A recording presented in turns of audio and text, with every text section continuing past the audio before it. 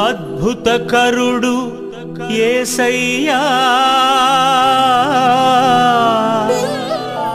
ఆశ్చర్యకరుడు ఏసయ్యా.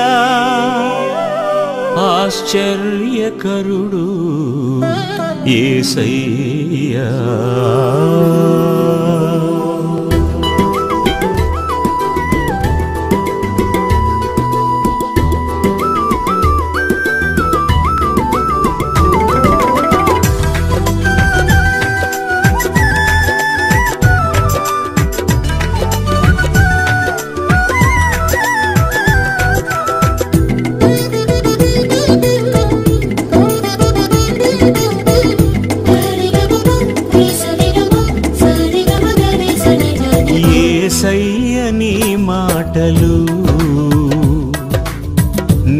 జీవపూటలు జీవ పూటలు.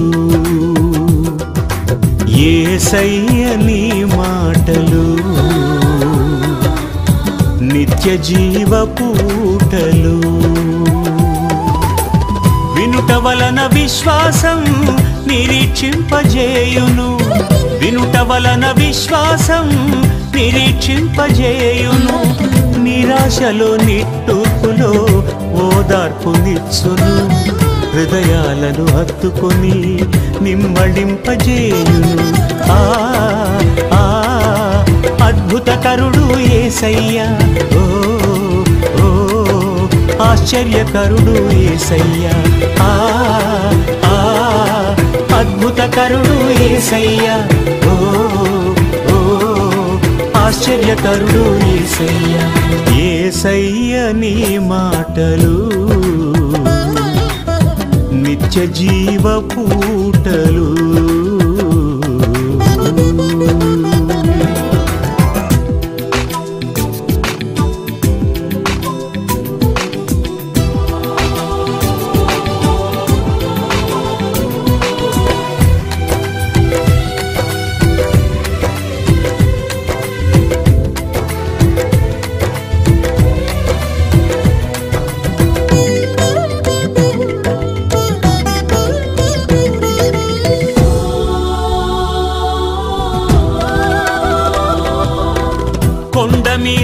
ఏసయ్యా నోరు తెరచి బోధించగా జనులు మూడు దినములైన అన్నపానమే మరచిరి.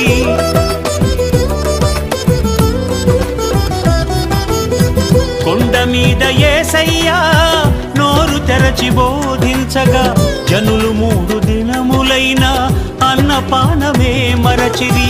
కని విని ఎరుగని అద్భుతమును వీక్షించిరి.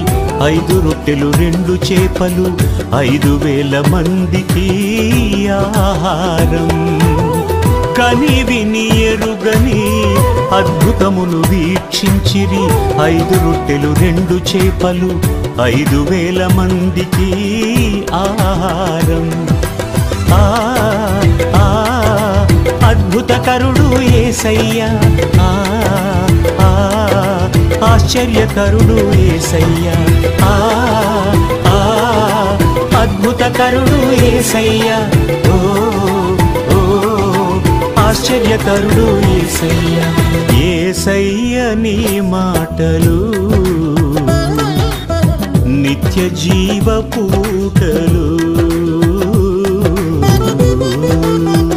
క్రీస్తునందు ప్రియమైన ప్రార్థన టీవీ ప్రేక్షకులందరికీ ప్రభువును మన రక్షకుడైన యేసుక్రీస్తు వారి ప్రశస్తమైన గణనామములో మీ అందరికీ శుభవందనాలు తెలియజేస్తున్నాను బాగున్నారండి? దేవుని కృపను బట్టి దేవుడు మనల్ని ఇంతవరకు సజీవ లెక్కలో ఆయన కాచి కాపాడి దేవుని యొక్క బలీయమైన రెక్కల నీళ్ళలో మనం భద్రపరిచిన దేవునికి మొట్టమొదట మనం దేవుని చే- దేవునికి కృతజ్ఞతలు చెల్లించాలి. మొట్టమొదట చేయవలసింది మనము దేవునికి కృతజ్ఞతలు చెల్లించాలి. కనుక ఈ మంచి సాయంకాల వేళ సమయంలో పరిశుద్ధాత్మ దేవుడు మనతో ఏమి బోధించనై ఉన్నాడో ఏమి మాట్లాడనై ఉన్నాడో పరిశుద్ధాత్మ దేవుడే మనతో మాట్లాడాలి. మనము మాట్లాడు వారి మనం మేము మనం కాదు. మనం మాట్లాడితే నిష్ప్రయోజనం. దేవుడు తన మెల్లని స్వరం మనకి వినిపిస్తే మన హృదయాలు తెప్పరిల్లబడతాయి. ఓకేనండి? దేవుడు కొంత సమయము పరిశుద్ధాత్మ దేవుడు మనతో కలిసి సహవాసం చేయునుగాక ఇక వాక్యం లోతునకు వెళ్తున్నాను. మీ అందరికీ మరొకసారి శుభవందనాలు తెలియజేస్తూ వాక్యం లోతునకు వెళ్తాను. రండి వాక్యం లోతునకు వెళ్దాం. ఆ తాత్పర్యాన్ని మనము దేవుడు మనకు మన హృదయానికి కావలసిన జీవ వాక్యాన్ని మనకు ఈ ఈ సమయమున బోధించనై ఉన్నాడు. ఓకే? ఇక వాక్యము లోనికి వెళ్తున్నాను. వాక్యం చదువుకుందాము ఒక వచ్చినాన్ని ఎస్తేర్ గంధం ఆరవ అధ్యాయం. మొదటి వాక్యాన్ని మనం చదువుకుందాం. మరొకసారి రెఫరెన్సు ఎస్తేర్ గంధము ఆరవ అధ్యాయం. మొదటి వాక్యం. ఆ రాత్రి నిద్రపట్టక పోయినందున రాజ్యపు సమాచార గ్రంథం తెమ్మని రాజు ఆజ్ఞ ఇవ్వగా అది రాజు ఎదుట చదివి వినిపింపబడెను. మరొకసారి ఆ రాత్రి నిద్ర పట్టక పోయినందున రాజ్యపు సమాచార గ్రంథం తెమ్మని రాజు ఆజ్ఞ ఇవ్వగా అది రాజు ఎదుట చదివి ఇనిపింపబడెను ప్రార్థన. తండ్రి నీకే స్థుతి స్తోత్రములు. ఈ యొక్క సమయంలో మీ మెల్లని స్వరము మాకు వినిపించండి. కూడి చేరి వచ్చిన బిడ్డలను వారి హృదయాల్లో ఈ వాక్యము ఆయన తెప్పరిల్లొచ్చాయండి లిఖింపొచ్చాయండి ముద్రించండి. మీరు మాట్లాడే ప్రతి మాట మా హృదయాలు పులకరింపబడాలి. మా హృదయాలు తేజోమయముగా మార్చబడి అట్టి కృప దయచేయమని నీ బిడ్డలను ఆశీర్వదించమని ఈ వాక్యము వింటున్న ప్రతి కుటుంబాన్ని ఆశీర్వదించమని ఏసునామలో ప్రార్థన చేస్తున్నాను తండ్రి. ఆమె ప్రియులరా ఈ ప్రత్యేక సమయంలో ప్రతి సండే ఆదివారము సాయంత్రము ఏడు గంటలకి ఈ యొక్క వాక్య స్పీట్ ఓలీ స్పీట్ మినిస్ట్రీ సమర్పణలో మేము మనకు అందించబడుతుంది. ఈ వాక్యాన్ని మీరు వినుచున్న మీకు ప్రభు బ్లెస్ చేయనుగాక మీ కుటుంబాలు దీవించబడునుగాక అట్టి కుప్ప దేవుడు మన కుటుంబాలకు మనకి దయచేయునుగాక ఇక వాక్యములోతునకు వెళ్తున్నాను. ఆ రాత్రి ఇక్కడ చూసినట్లయితే ఒక రాజు గొప్ప సంస్థానం ఆ రాజుకి నిద్ర పట్టలేదంట. ఒక రాత్రి. చూశారండి? వాస్తవంగా ఇక్కడ పరిశీలన చేస్తే నిద్ర పట్టకపోవటానికి కారణం ఏంటంటే ఒక గొప్ప వ్యక్తికి దేవుని బిడ్డకి ఒక మేలు జరగాలి. ఒక వ్యక్తి కీడు చేయబోతున్నాడు. ఆ కీడు మేలుగా మలచబడాలి. దేవుని సేవకుడికి మేలు క- జరగాలి. అందుకోసమని ఆ రాజ్యాన్ని పరిపాలిస్తున్నటువంటి ఆ సుశాన్ కోటలో రాజైనటువంటి మరి ఆ రాజుకి నిద్ర పట్ట పట్టకుండా చేశాడు దేవుడు. కనుక ఆ యొక్క మేలు పొందుకోవాల్సిన వ్యక్తి మొద్దుకై. కీడు చేస్తున్న వ్యక్తి ఆమాన్. ఏంటి కారణమే అంటే ఇక్కడ మూడవ అధ్యాయము ఐదవ వాక్యం చదువుకుంటే మొద్దుకయ్యి వంగకయు నమస్కరించుకయు నూట ఆమాను చూసినప్పుడు బహుగా కోపించను. ఇక్కడ చూసినట్లయితే ప్రియా నేస్తమా ఈ ఆమాను అనేవాడు సైన్యాధిపతి. రాజు మంచి అధికారము అతనికి కట్టబెట్టాడు. ఈ యొక్క ముద్దుకయ్యి ద్వారపాలకుడు అంటే ద్వారం దగ్గర కాపుదల ఉండే వ్యక్తి. ఇక్కడ గమనించినట్లయితే సత్యము ఈ ఆమానుని వాడు చాలా గర్విష్టి. మొద్దుకయ్యి దేవుని యొక్క సేవకుడు దేవుని యందు భయభక్తులు కలిగిన వాడు. ఈ యొక్క పరిస్థితులలో ఈయన నేను సైన్యాధిపతిని వెళ్తుంటే ఈడు ద్వారపాలకుడై ఉండి నాకు నమస్కరించట్లేదు. వీడి వలన నేను అవమానించబడుతున్నాను. గర్విష్ఠు అని వాడికి అహంకారం ఉన్న వాడికి వాళ్ళకి ఏదోదో తప్పుడు ఆలోచనలు వస్తాయి. ఆ గర్వం అనేది ఆ కనులకి కనిపడదు. మంచి వాళ్ళు ఎవరు చెడ్డవాళ్ళు ఎవరో తెలియదు. అందరూ వంగి వంగి నమస్కారం చేస్తున్నారు. ఈడొక్కడు నమస్కారం చేయట్లేదు. కారణం ఏమిటి? ఎందుకు అని ఈయనే కాదు.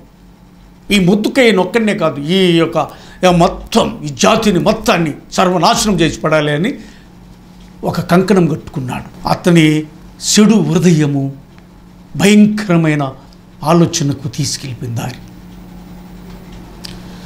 ఈ మొద్దుకైన ఒక్కడనే కాదు ఇతని జాతిని మొత్తాన్ని నిర్మూలం చేయాలి. ప్రియ దేవుని బిడ్డలారా ఒక పనికి మాలిన ఆమాన్ లాంటి వాడు ఉంటే సమాజ సంఘాలకు కానీ దేశానికి కానీ కీడు జరుగుతుంది. వీర్ష్య అసూయ ద్వేషం అలుముకొని ఉంది. రాజు దగ్గరికి వచ్చి రాజుని మప్పిపెట్టి ఆ తాగిన మత్తులో ఉన్న ఆ రాజుతో ఈ మద్దుకైన వాడిని ఆడు చాలా గర్విష్టి అని చెప్తూ లేనిపోని మాటలను అదో రకంగా వర్ణించి చెప్పి రాజు మనస్సుని దోచుకొని అతని ముద్రికను తీసుకొని ఈ యొక్క యూదా వంశాన్ని మొత్తాన్ని ఒక నెలలో ఒక రోజున నిర్మూలం చేయాలని ప్రతి సంస్థానికి సంస్థానానికి ఈ యొక్క తాకిదులను దా జారీ చేసి పడేవేశాడు చూశారండి? మనం ఇక్కడ గమనించినట్లయితే ప్రియ నేస్తమా మనకు ఒకవేళ అధికారం ఉండొచ్చు మనకు ఒకవేళ గొప్పవారిగా ఉండొచ్చు సమాజ సంఘాలలో అందరికంటే కొంచెం మిన్నగా కనిపించవచ్చు. కానీ ఎదిగే కొంది వదగాలి.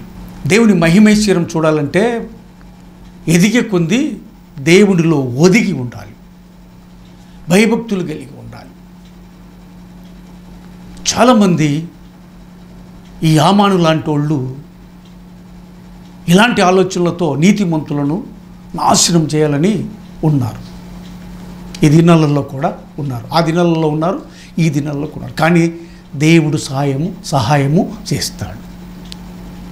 దేవుడు సహాయం చేస్తాడు. నీతిమంతుల పక్షమన ఎప్పుడు కూడా దేవుడు సహాయం చేస్తాడు. కనుక ఈ విధంగా చేసింది కాక ఈ మొద్దుకయ్యను ఉరి తీయాలని యాభై మూరల ఉరికొయ్య. పన్నాగం పండి యాభై మూరల ఉరికొయ్యను ఆమెను ఇంటి దగ్గర సిద్ధం చేసుకొని పెట్టాడు సిద్ధం చేసి పెట్టాడు. సిద్ధం చేసి పెట్టినవి రాజు దగ్గరికి వచ్చే ఆరాత్రి. ఇప్పుడు మన మూలవాక్యంలో చదువుకున్నమే రాజుకు నిద్రపట్టని రాత్రి ఆమాను అనేవాడు ఈ సైన్యాధిపతి అనేవాడు ఈ ముద్దుకయ్యను ఉరి తీయటానికి రాజు ఆజ్ఞ కోసమని వచ్చిన ఆ రాత్రి ఇంత కీడు చేస్తుంటే దేవుడు ఊరుకుంటాడా? నా ప్రియ మిత్రమా నా ప్రియ దేవుని సొత్తైన ప్రజలారా నీకు కీడు చేయాలంటే దేవుడు పక్షమున నీ పక్షమున బిద్ధం చేస్తాడు దేవుడు. ఎవడు తూకున్న గొయ్యిలో వాడే పడతాడని మన పితరులు కూడా పెద్దలు సామెత ఒకటి ఉండేది. అంటే దాని అర్థం ఏంటి? ఎవడు ఏం చేస్తే ఏమి విత్తితే అది పంట కోసుకుంటామని దేవుడు మనకు బోధించాడు. ఏమి విత్తుతావో దాన్నే కోసుకుంటామని. ఇక్కడ మనం గమనించినట్లయితే ఆమానేమో ఇంత దుర్మార్గ పనిలో నిమగ్నమై ఉన్నాడు. మొద్దుకయ్యేమో దేవుణ్ణి ధ్యానం చేస్తున్నాడు. ఆ సందర్భంలో రాజుకు రాత్రి నిద్ర పట్టలేదు.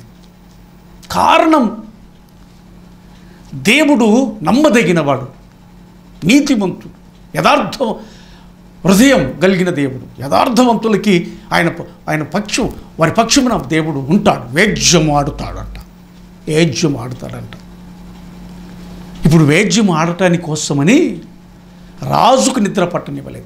గనుక ప్రియా సంగమా దేవుని సొత్తైన ప్రజలారా దేవుడు ఏర్పాటు చేసుకున్న దేవుని సంగమా ఈ మంచి చల్లని వేళలో ఈ వాక్యములో ఉన్న సత్యమును దేవుడు బయలుపరుస్తున్నాడు పరిశుద్ధాత్మ దేవుడు. ఒకవేళ నీకు శత్రువులు ఉంటే వాళ్ళు వేసే యుక్తులన్నీ దేవుడు తీసిపడివేస్తాడు నీ పక్షమున ఉంటాడు. ఆ రాజుకు నిద్ర పట్టనివ్వలేదు. ఎందుకు కారణం ఏంటంటే ముద్దుకైని దేవుడు కాపాడే దానికోసం ముద్దుకయ్య పక్షమున దేవుడు యుద్ధం చేసే దానికోసం నీతి యథార్థత.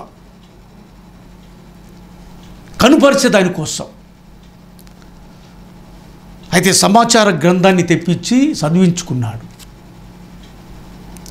చదివించుకున్నప్పుడు అందులో ఏముందంటే రాజు ప్రాణాన్ని ఇద్దరు సెండులు తీయటానికి ఆలోచన చేసినప్పుడు అది ముద్దుకై విన్నాడు. విని సమాచారము హెస్తేర్ ద్వారా పంపించాడు. తన కుమార్తె హెస్తేరు తన మరి తమ్ముడి కుమార్తె ఎస్తేరు. పెదనానవుతాడు మెద్దుకై. ఈయన ఆ ద్వారపాలకులుగా చేస్తూ ఉద్యోగ నిర్వహణ చేస్తున్నప్పుడు ఈ కుట్ర జరిగేటప్పుడు ఆయన స్వయంగా వింటాడు. విని ఈ వర్తమానాన్ని రాణి అయిన ఎస్తేరుకి జారేస్తాడు. అప్పుడు రాజు దగ్గరికి రా రాణి అయిన ఎస్తేరు జారేసినప్పుడు ఈ సమాచారాన్ని విచారించి వారి ఇద్దరిని ఉరిదీసి పడవేశారు కానీ ఉరిదీసి పడేశారు కానీ ఇంత గొప్ప మేలు చేసిన ముద్దుకైకి మాత్రము ఆ గ్రంథంలో చదివితే అతనికి ఏమి బహుమానం ఇచ్చినట్టుగా కానీ అతను చేసిన సహాయానికి స్పందించినట్టుగా కానీ ఆ సమాచార గ్రంథంలో రాయబడి లేదు. ఈ విషయాన్ని కనుగొన్నాడు రాజు. ఇంత గొప్ప కార్యము రాజు ప్రాణాన్ని కాపాడిన వ్యక్తికి కనీసం అతనికి సన్మానం కూడా చేయలేదా అనే ఆలోచనతో ఉన్నాడు. అది అసలు విషయం. ఆ రాత్రి జరిగిన విషయం. నిద్ర పట్టక పట్టలేని స్థితి దేవుడు ఎందుకు జరుగుతుందంటే అంతే. కనుక ప్రియ దేవుని బిళ్ళారా మరి ఆ సమయంలో ఈ ఆమాను కనిపించాడు. రాజు అన్నాడు ఎవరు అక్కడ? నా పక్షమున ఎవరు? అని అడిగినప్పుడు మరి అప్పుడే ఆమాను వస్తే ఆ యొక్క భట్లు చెప్పినప్పుడు ఆమాన్ని పిలిపించాడు. రమ్మన్ అని చెప్పాడు. అప్పుడు ఆమాన్ ఎందుకు వెళ్ళాడో తెలుసా? ఆ సమయంలో ముద్దుకి ప్రాణం ఉరి తీయటానికి దేవుని ఆ యొక్క రాజు యొక్క ఆజ్ఞ పొందటానికి కోసము వెళ్ళాడు. ఆ కోసరం అని వెళ్ళిన అతనికి ఈ విధ ఈ విధంగా రివర్స్ అయింది. ఒక వ్యక్తికి గను సన్మానం చేయాలంటే ఏం చేయాలి? ఆమాను అని అడిగాడు. ఈ దేశంలో నాకంటే గనుడు ఎవడు లేడు అనుకొని మనసులో యామను చూశారండి? విన్నారా? జాగ్రత్త మనమే గొప్పలంగా ఫీలింగ్ ఉండకూడదు. మనకంటే గొప్ప వాళ్ళు ఉంటారు. అతను హృదయంలో ఉన్నది అది. అతని హృదయ ఆలోచన ఏంటంటే నన్నే గన్ను సన్మానం చేస్తాడు రాజు అనుకున్నాడు. అయితే దేవుని ప్రణాళిక వేరు కదండి. ఆ నీతిమంతుడైన మొద్దుకయ్యి సన్మానం జరగాలి. రాజు హృదయ ఆలోచన అది. ఏం చేయాలని అడిగినప్పుడు ఒక వ్యక్తికి ఘన సన్మానం చేయాలంటే ఏం చేయాలని అడిగినప్పుడు ఇతను చెబుతున్నాడు రాజు వస్త్రములు ధరించ ధరింప చేయాలి రాజు ఎక్కి గుర్రాన్ని ఎక్కించాలి కిరీటం పెట్టాలి. రాజు ఆభరణాలు ధరించాలి. ఈ సుశాను కోటంతా తిప్పి ఆ ఘన సన్మానం అలా చేయాలి సార్ రాజుగారు అని చెప్పాడు. ఎవరు? ఆమానం. వెంటనే రాజు ద్వారపాలకులుగా ఉన్న బొద్దుకాయని పిలిచి నువ్వు నువ్వే దగ్గరుండి ఆ పని చేయమన్నాడు. చూసారండి ఎలా రివర్స్ అయిపోయిందో? దేవుని బిడ్డల పక్షమున యహోవా యుద్ధం చేస్తాడు. యుద్ధం చేస్తాడు. దానికి మీనింగు ఆ, ఒక విషయం చెప్తాను. అదేంటో తెలుసా? ఇజ్కియా రాజు జెరుసలేము ఎరుసలేముని పరిపాలన చేస్తున్న రాజుగా ఉన్న దినాలలో మరి అశూరు రాజు ముట్టడి వేసి చాలా భయంకరమైన పదజాలాలు మాట్లాడుతున్నప్పుడు దేవుణ్ణి ఆశ్రయించాడు. ఆశ్రయిస్తే దేవుడు ఆ రాత్రి యుద్ధము చేశాడు. జయాన్ని తీసుకొచ్చి పెట్టాడు దేవుని మీద ఆనుకున్నాడు ఇజ్కియా రాజు. అలాగనే ముద్దుకై ఆనుకున్నాడు దేవుని మీద. దేవుని బిడ్డలారా దేవుని మీద ఆనుకున్న వ్యక్తులతో దేవుడు కాపుదల ఉంటుంది వారికి. దేవుని యొక్క కాపుదల ఉంటుంది. దేవుని యొక్క బలీయమైన రెక్కల నీళ్ళలో భద్రంగా ఉంటారు క్షేమంగా ఉంటారు.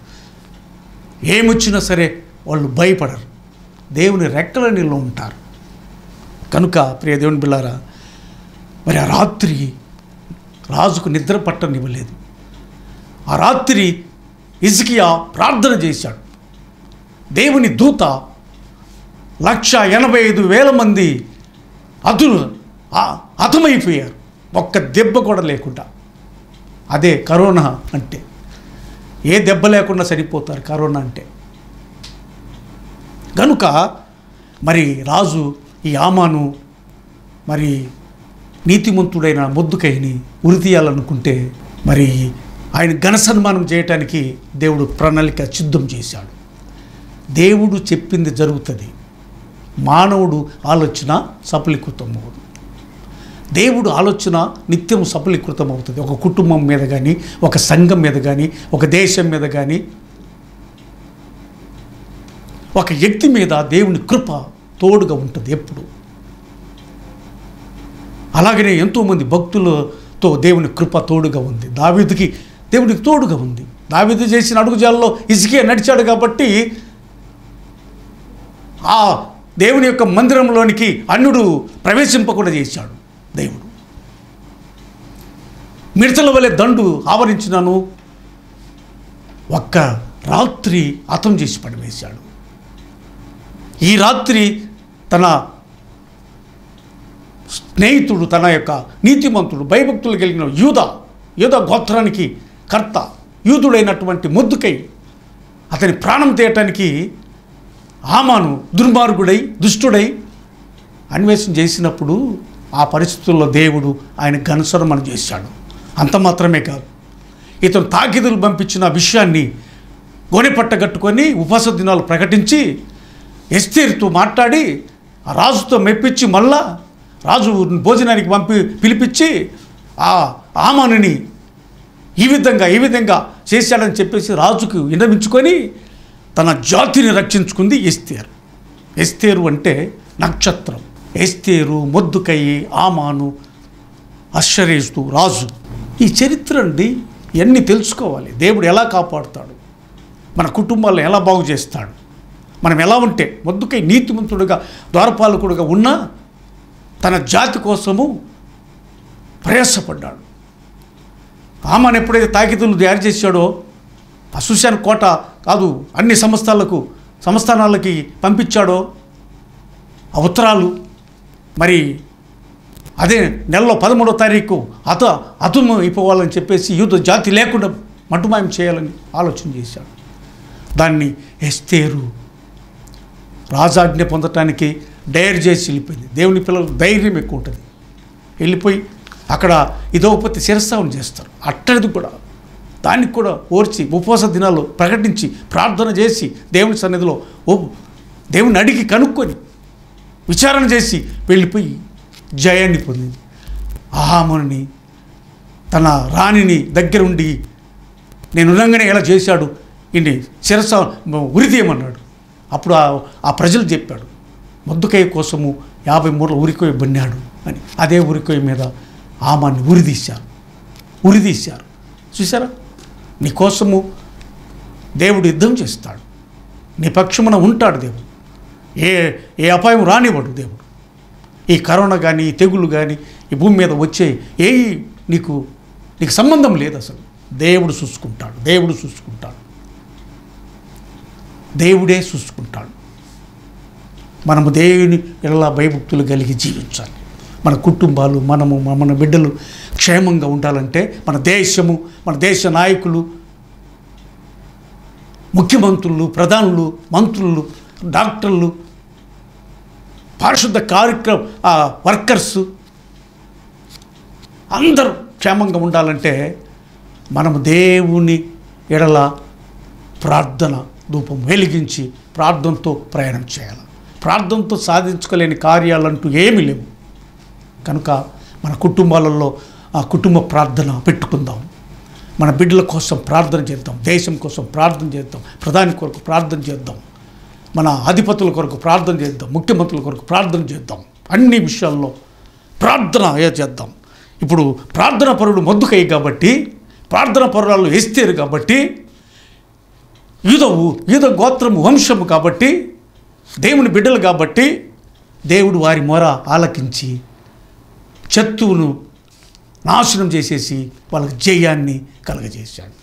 అట్టి కృప అట్టి భాగ్యము మనందరికీ దేవుడు కలగజేయను గాక. మన కుటుంబాలు ఆశీర్వాదకరంగా దేవుడు దీవించి ఆశీర్వదించును గాక ఈ- మాటలు ఈ వాక్యము దేవుడు దీవించి ఆశీర్వించును విస్తరింపచేయను గాక ప్రార్థన చేసుకుందామండి. తల్లు వంచండి కనులు మూయండి. ప్రార్థన చేసుకుందాం. మహాగణుడమైన తండ్రి పరిశుద్ధుడా నీకే స్థుతి స్తోత్రములు చెల్లిస్తున్నాము. మీరు మాట్లాడిన వాక్కులకై మిమ్మల్ని స్థుతిస్తున్నాం ప్రభు. నీతిమంతుల పక్షమున మీరు యుద్ధం చేస్తారు. నీతి పక్ష పక్షమున మీరు ఉంటారు. ఇది వాస్తవం. ఈ బైబిల్ గ్రంథంలో మీరు తెలియపరిచిన రీతిగా నాయన ఇదిగో తండ్రి నీతిమంతుల పక్షమున మీరు యుద్ధం చేస్తారు. నీతిమంతుల పక్షమున మీరు ఉంటారు వారికి ఏ ఆపత్తు సంభవించదు. మీరు మాట్లాడిన ఈ మాటలను ఫలింపచ్చేయండి విస్తరింపచేయండి. ఇంటున్న నీ నీ బిడ్డల హృదయాలు తెరిచి వాక్యానుసారమైన జీవితం జీవిస్తూ ప్రార్థనాపూర్లుగా తీర్చిదిద్దామని కుటుంబాలను ఆశీర్వించమని ఈ వాక్యం వింటున్న ప్రతి కుటుంబాన్ని ప్రతి బిడ్డలను ఆశీర్వాదకరంగా మార్చమని ఏసునామంలో ప్రార్థన చేస్తున్నాను తండ్రి. ఆమెన్. ఆమెన్. మన తండ్రి అయిన దేవుని నుండి కుమారుడైన యేసు క్రీస్తు ప్రభుల వారి నుండి పరిశుద్ధాత్మ దేవుని అన్యోన్య సహవాసం సన్నిధి మనకును సకల పరిశుద్ధులకును సదాకాలము తోడై ఉండునుగాక. Amen. Amen. Amen. God bless ఇవ్వండి మీ అందరికీ వందనాలు.